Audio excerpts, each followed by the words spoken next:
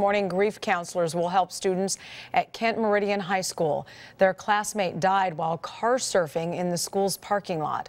KIRO 7's Nick McGurk joins us from Kent with a look at how common and dangerous this car surfing can be. Nick.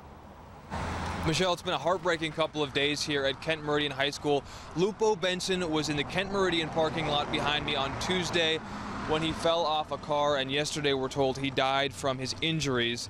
Police say Benson was riding on the hood of a vehicle just as school let out on Tuesday when the vehicle made a sharp turn, throwing him off. We don't know how fast the car was going, but we did find video on YouTube of what car surfing can look like. It usually involves kids hanging off of moving cars. We also spoke with Benson's teammates last night on the football team.